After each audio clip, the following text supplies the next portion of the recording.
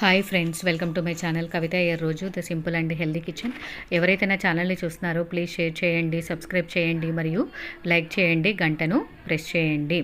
మనము దేవుడి దగ్గర దీపాలు వెలిగిస్తూ ఉంటాం కదా.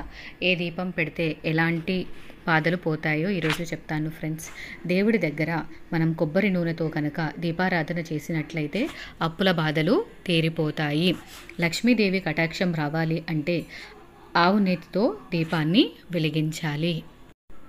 ఇంట్లో గొడవలు తగ్గాలి అంటే ఆముదంతో దీపాన్ని వెలిగించాలి.